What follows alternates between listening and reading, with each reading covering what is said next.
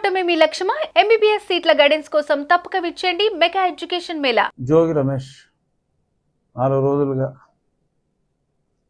పవన్ కళ్యాణ్ గారి మీద ఎన్ని మాటలు మాట్లాడాడు. పవన్ కళ్యాణ్! అలా. సరే నన్ను అయితే అసెంబ్లీలోనే చాలా వరస్ట్గా మాట్లాడాడు. వరస్ట్గా మాట్లాడితే ముష్ ముష్ నవ్వులు నవ్వుకుంటూ నచ్చావు రమేష్ నచ్చావని చెప్పి మరి ముఖ్యమంత్రి గారు తెగమెచ్చుకున్నాడు. ఆ తర్వాత నన్ను లుచ్చా తిట్టినందుకు ఆయన వచ్చానని చెప్పి మంత్రి పదవి కూడా ఇచ్చాడు. మరి మంత్రి ఇచ్చేటప్పటికి ఇదిగో ఇలాగా అగ్రిగోల్డ్ భూములు స్వాహ. పాపం నిన్న అతని వైఫ్ ఏడుస్తుంది ఆవిడ. జాలేసింది నిజంగా. భార్యకి సంబంధం ఉండకపోవచ్చు కానీ మరి అందరూ ప్రతి తల్లి కొడుకు మొగుడు ఎంత పనికి మాలిన ఎవరైనా మంచోళ్ళైనా అనుకుంటారు. ఏ తల్లి అయినా సరే అది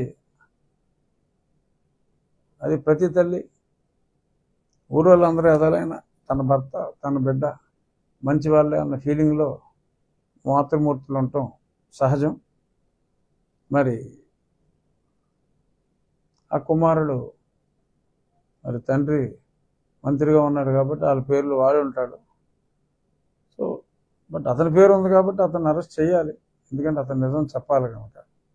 డెఫినెట్గా త్వరలో మరి జోగి రమేష్ గారి అరెస్టు ఉంటుందని నేను అనుకుంటున్నాను.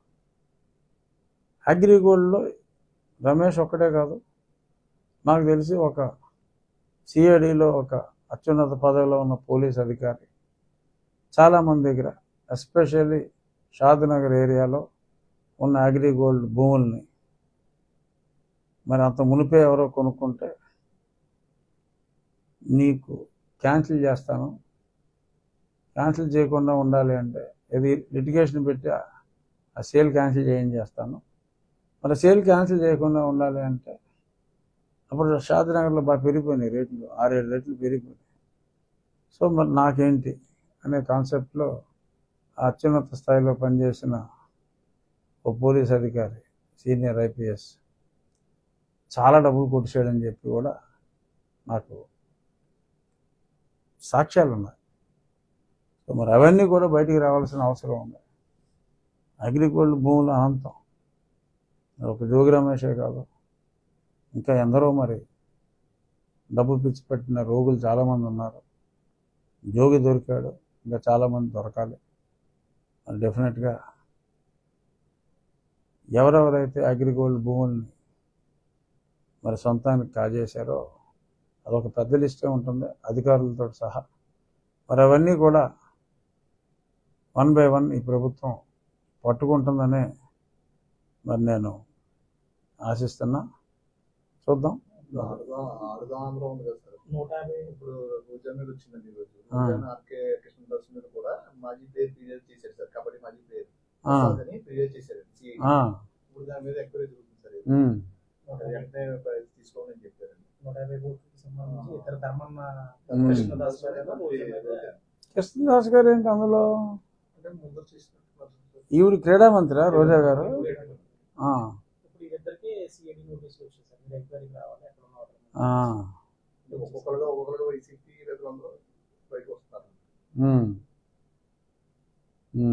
సో మరి ఇది డెఫినెట్గా ఆడదాం ఆంధ్ర బ్యాట్ ముట్టుకుంటేనే ఇరిగిపోయినాయి. అసలు బాల్ కొట్టక్కలేకుండానే ఇరిగిపోయినాయి.